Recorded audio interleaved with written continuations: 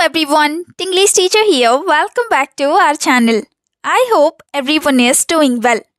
అప్పుడప్పుడు మనకి మన ఫ్రెండ్స్తో లేదా మన ఫ్యామిలీ మెంబర్స్తో చిన్న చిన్న ఆర్గ్యుమెంట్స్ అలాగే ఫైట్స్ అవుతూ ఉంటాయి కదా అలాంటి సిచ్యువేషన్లో యూస్ చేస్తూ ఉండే సెంటెన్సెస్ని ఇంగ్లీష్లో ఈజీగా ఏ విధంగా చెప్పాలో క్లియర్గా ఈ వీడియోలో కొన్ని ఎగ్జాంపుల్స్తో చూసేద్దాం కాబట్టి మీరైతే వీడియోని ఎక్కడ స్కిప్ చేయకుండా చివరి వరకు చూడడానికి ట్రై చేయండి ఈ వీడియో కనుక మీకు యూస్ఫుల్గా అనిపిస్తే మర్చిపోకుండా ఒక లైక్ చేయండి.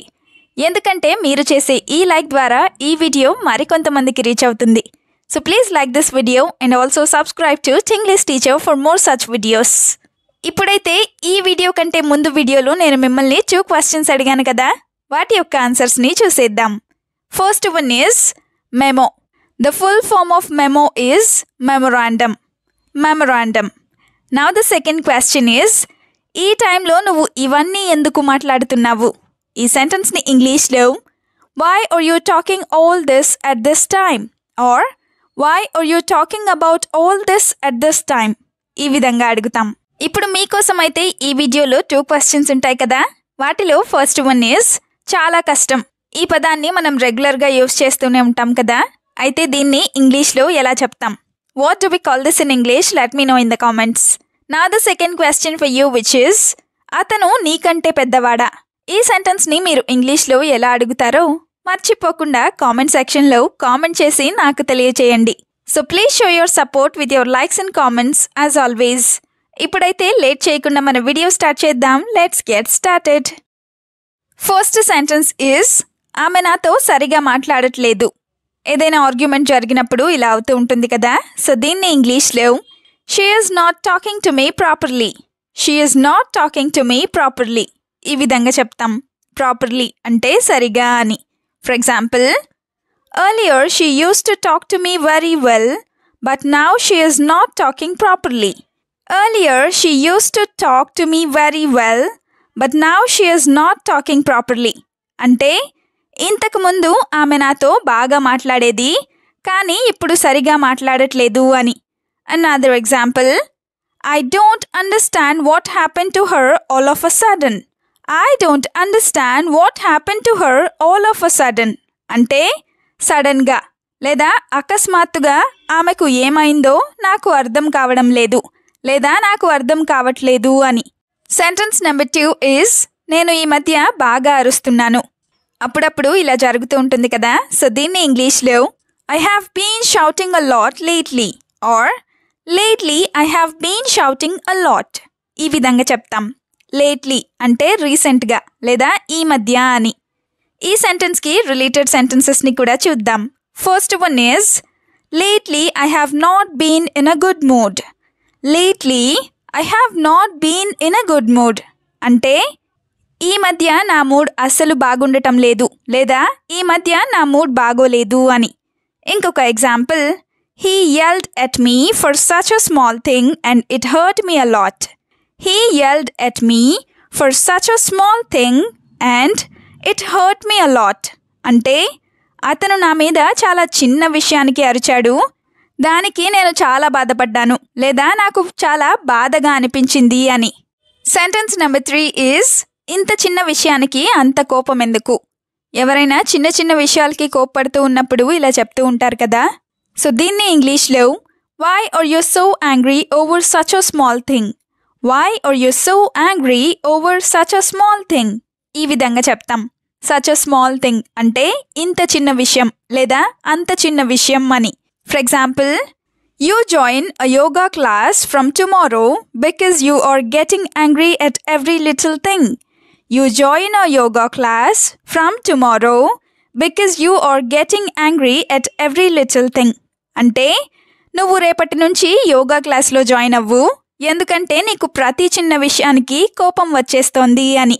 నా the second example is I get angry as well as cry I get angry as well as cry అంటే నాకు కోపంతో పాటు ఏడుపు కూడా వస్తుంది అని. నా ద ఫోర్త్ సెంటెన్స్ ఈజ్ నువ్వు అరవడం తగ్గిస్తే మంచిది. లేదా నువ్వు అరవడం తగ్గిస్తే నీకే మంచిది. ఇలా చెప్తూ ఉంటారు కదా దీన్ని ఇంగ్లీష్లో it is better for you if you stop yelling. It is better for you if you stop yelling or shouting ఈ విధంగా చెప్తాం. యెల్లింగ్ ఆర్ షౌటింగ్ అంటే అరవడం అని. It is better for you అంటే నీకు మంచిది అని. For example don't show your attitude here by yelling at everyone don't show your attitude here by yelling at everyone అంటే అందరి మీద లేదా ప్రతి ఒక్కరి మీద అరిచి నువ్వు ఇక్కడ నీ యాటిట్యూడ్ని చూపించకు అని. Now the example number two is I didn't want to yell at them it happen because I was not in a good mood I didn't want to yell at them it happen because I was not in a good mood అంటే నేను వాళ్ళ మీద అరవాలని అనుకోలేదు. నా mood బాగోలేకపోవడం వల్ల అలా జరిగిపోయింది అని. నా ద ఫిఫ్త్ సెంటెన్స్ ఈజ్ నీ ఉద్దేశం ఏంటో అస్సలు అర్థం కావట్లేదు. ఇలా అంటూ ఉంటారు కదా దీన్ని ఇంగ్లీష్లో. I don't understand what your intention at all I don't understand what your intention at all ఈ విధంగా చెప్తాం.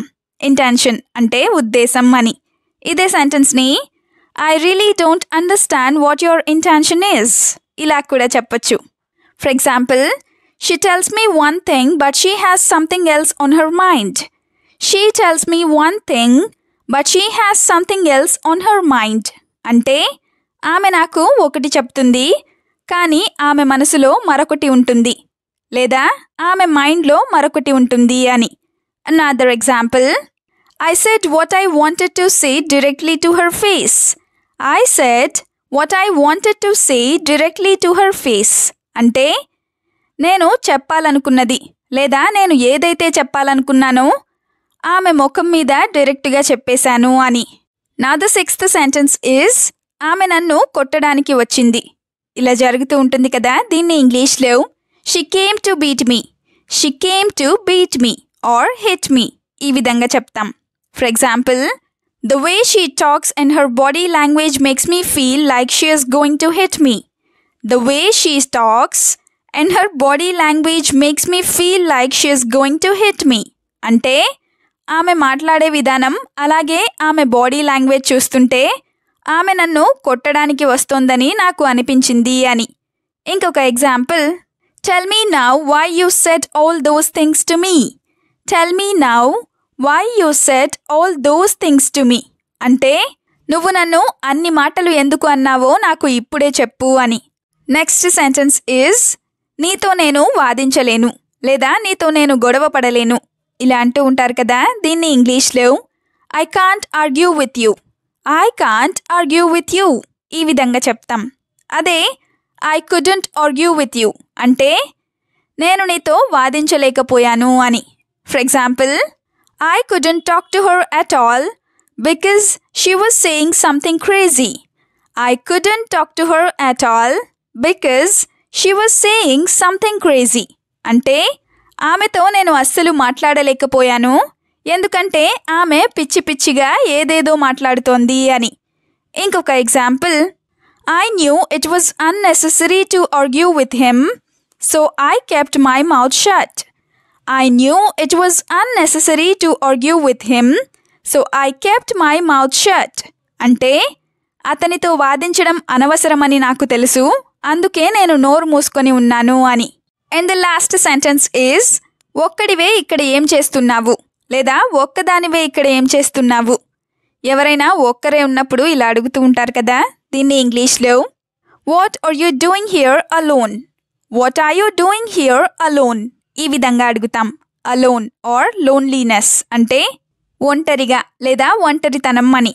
For example what are you sitting here alone thinking about what are you sitting here alone thinking about అంటే నువ్వు ఇక్కడ ఒక్కడివే లేదా ఒక్కదానివే కూర్చొని ఏమి ఆలోచిస్తున్నావు అని లేదా దేని గురించి ఆలోచిస్తున్నావు అని.